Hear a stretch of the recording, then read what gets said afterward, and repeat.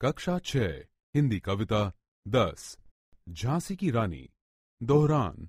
प्रस्तुत कविता, रानी लक्ष्मीबाई के संघर्ष की कहानी बताती है कि लक्ष्मीबाई ने किस तरह अपनी हिम्मत से अंग्रेज़ों के हौसले पस्त कर दिए थे। अंग्रेज़ों के जुल्मों से परेशान भारतीयों की स्थिति के बारे में हमें इस कविता द्वारा पता चलता है। किस तरह राज्य हथियाने के बाद राजाओं व रानियों की दुर्दशा होती थी। उनके गहने व कपड़े बाजारों में नीलाम कर दिए जाते थे। यह कविता हमें हमारे स्वतंत्रता संग्राम व उसमें बलिदान हो गए वीरों की याद दिलाती है।